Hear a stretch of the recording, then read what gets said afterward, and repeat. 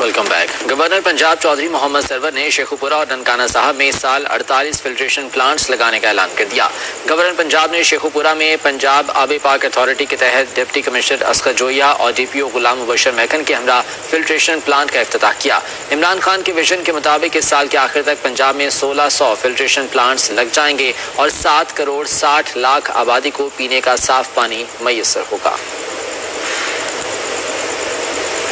सखर में